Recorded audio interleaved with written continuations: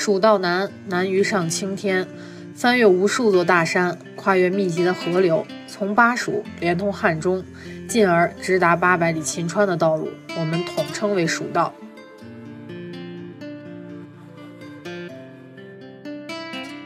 蜀道有名的有三条，其一是米仓道，我们去年游览秦岭的时候，曾经拍摄过米仓山下的米仓道。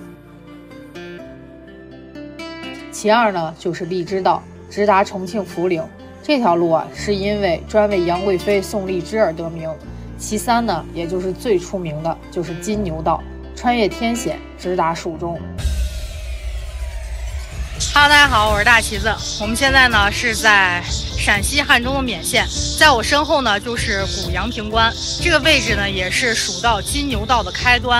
啊，我们接下来的行程呢是要从这个位置一直走金牛道进入四川。接下来的一段时间呢，大家就跟着我的镜头，咱们一块儿去看一看蜀道到底有多难，然后也去看一看现在的金牛道是什么样的。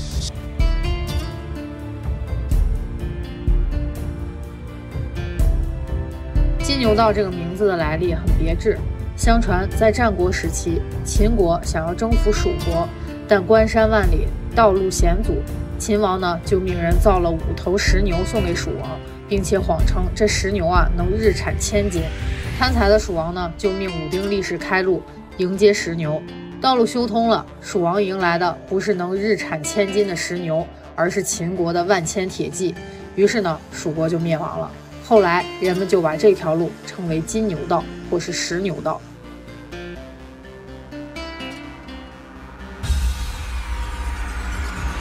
近乎不可思议的传说流传了几千年，人们也早已习惯了称这条入蜀的道路为金牛道。在沿途的许多地方呢，都有记载，牛的雕像也能见到许多。从古阳平关所在的勉县一路西行，不久就能够到达宁强县的阳平关镇。这里如今是宝成铁路和阳安铁路的交汇，嘉陵江绕城而过，地理位置十分重要。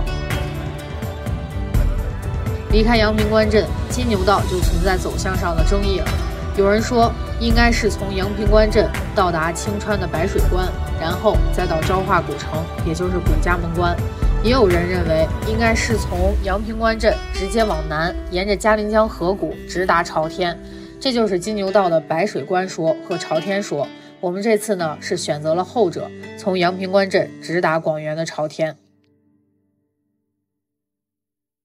一路上山川险峻，古时候修建古道多采用沿溪河成路，岭横越漾，陡峻盘旋，险绝而战的方法。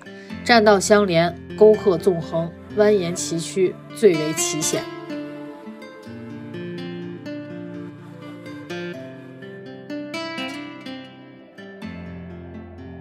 到了江门关之后，金牛道一路向南过剑阁，这一段被称为是金牛道中最为险峻的一段。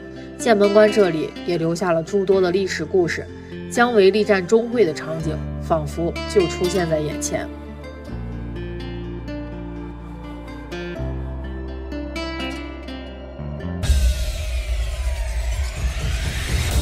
这一路上，蜀道一直是弯弯曲曲，上坡下坡也非常频繁，可想而知，这要是没有如今的公路，古蜀道的艰难程度，蜀道的难可以说是肉眼可见的。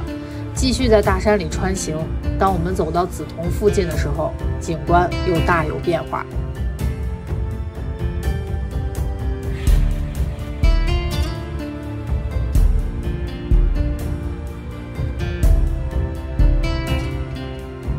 我们现在呢是已经到了四川绵阳的梓潼县，在梓潼啊有一个宋险亭，意思就是坡去平来。当金牛道走到这儿的时候，就已经走出了山路，马上要进入成都平原了。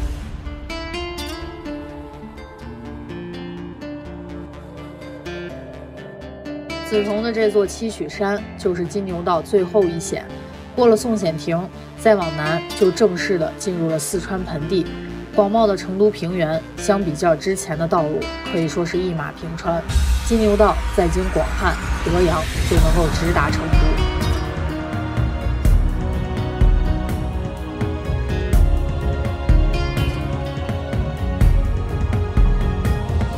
其实金牛道历朝历代都有修复走向呢也都有变化。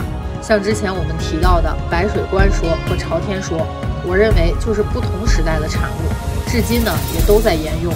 就比如说，现代连通川陕两省的公路、铁路，也大多是沿着金牛道等古老的蜀道线路而建。我们一路过来，大多就是沿着幺零八国道在走。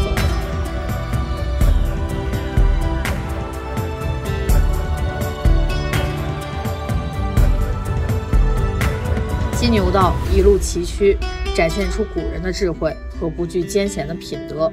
一路上，无论从风景还是历史文化角度，都值得我们去反复的研究和欣赏。这条金牛道，你准备好走一走了吗？